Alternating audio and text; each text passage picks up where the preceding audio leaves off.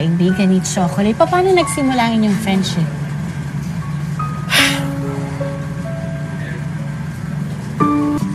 Um, si Chocolate, Okay. kaming apat, naging Sino-sino yung apat? si Poo, si Chocolate, si Pokey, ako.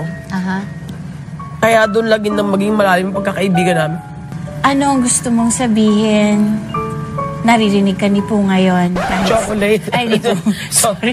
Teka lang, buhay pa isang kaibigan ko, Ate Winnie, sa Ate Winnie. sorry po, sorry po. Tita Winnie, wag naman lahat sila. Yung, oh,